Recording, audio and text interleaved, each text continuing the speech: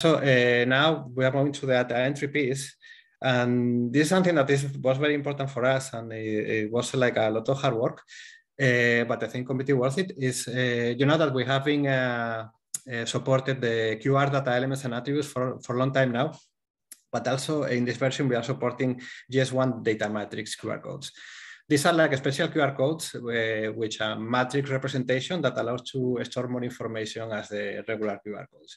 And this is widely used in, uh, in many applications, especially for the ones that need to identify like uh, internal products as the logistics uh, management. And one of the most important use cases that we are having this year that we would like to support is like uh, using the Android application to support basic LMIS, uh, basic logistic management information system, right?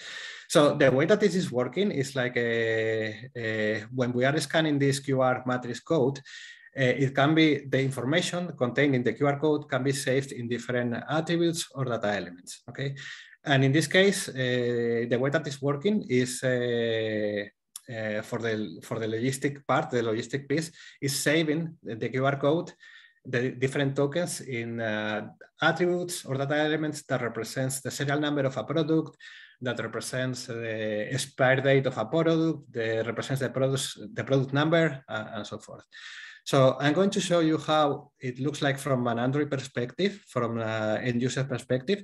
And then uh, my colleague Marcos, Marcus is going to explain how uh, you can configure this in the server side in order to have this functionality in Android as well. So um, we have a program here that is called GS1 program. And here in this program, we are collecting uh, different products, right? So I'm going to open a product to, for you to see how it looks like. It's very simple. It doesn't contain even events. Uh, but I, if I click on the details in the product data, I can see that there is a QR code, that this is one, and then a serial number. This is coming from the QR code, a lot number, an expiration date, and a, and a GTIN, that I think this is a product number, right? So imagine that now my use case is like I am receiving a product that it contains a QR code, it's a stick to the product, and then I would like to know if that product exists in my, in my inventory, right? So let's do it. So I'm going to say this one. So, and for that, I have this screenshot. Okay, basically this screenshot uh, so represents a sticker with uh, the QR code, and this QR code contains information about the serial number, about the product code, about this code, the TON code, I think is being called, and the expire date, August of 2020, right? So let's see if this exists first. So uh, I'm clicking here on the search, and now I can search by the by the QR code. Clicking here. So I need to read that one. Okay, I read it. So now I'm clicking on the search button to see if that product exists or not. Okay, there are no results for this search. So now uh, I can create a new one. Okay, I need to specify, of course, the enrollment of unit and the date.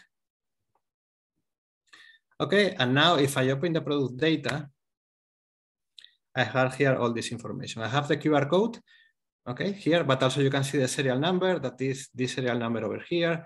You have also the lot number, the, the this, this number over here.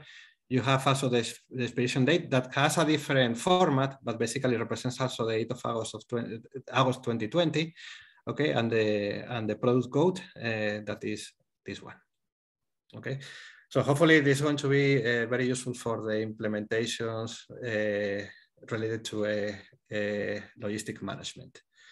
Okay, let's move on. I'm not going to say this part.